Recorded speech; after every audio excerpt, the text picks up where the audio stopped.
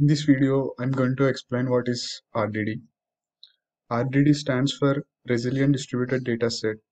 RDDs are a foundational concept in Apache Spark, which is designed to provide an efficient and fault-tolerant way to process the data in parallel across a cluster of machines. Just think of it as a collection of data that is spread across multiple computers or nodes in a cluster. Each piece of this data can be processed independently and in parallel. Let me break down the each component. First one is resilient. RDDs are resilient because they can recover automatically from errors or failures. If one part of data or one computer fails, the processing can continue using the other parts of the data on the other computers. RDDs are distributed because they divide the data into smaller chunks and distribute these chunks across different computers.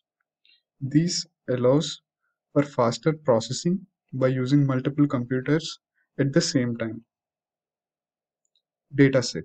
RDDs represent a dataset which can be anything from a simple collection of numbers to complex data structures like uh, records from database.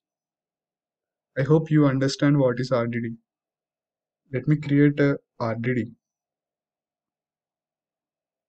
Before that, you have to make sure that your cluster is up and running. Here you can see my, cl my cluster is up and running. Now let me create a list.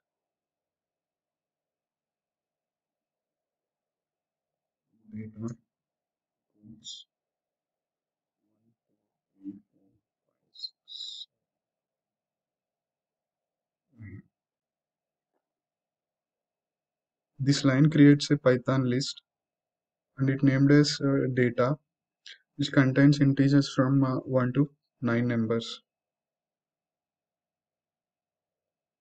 Now next I want to create a RDD. RDD equals c dot parallelize data. Let me run I can able to run. This is the way how we can create RDDs. Let me explain this.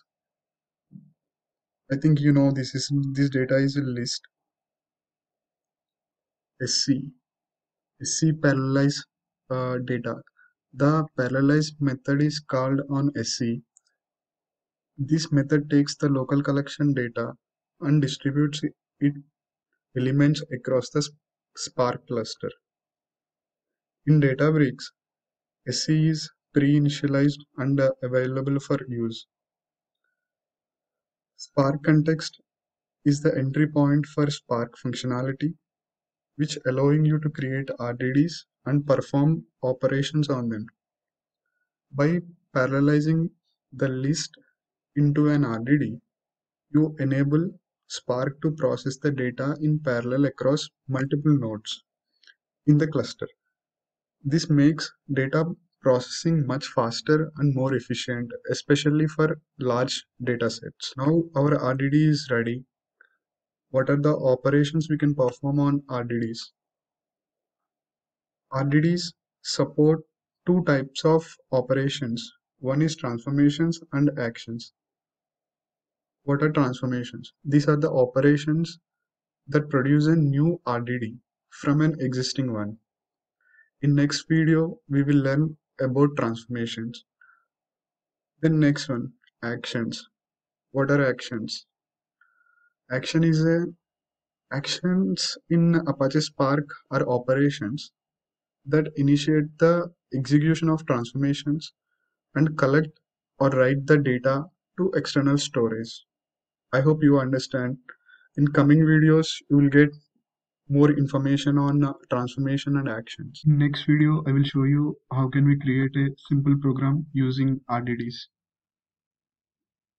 See you in next video.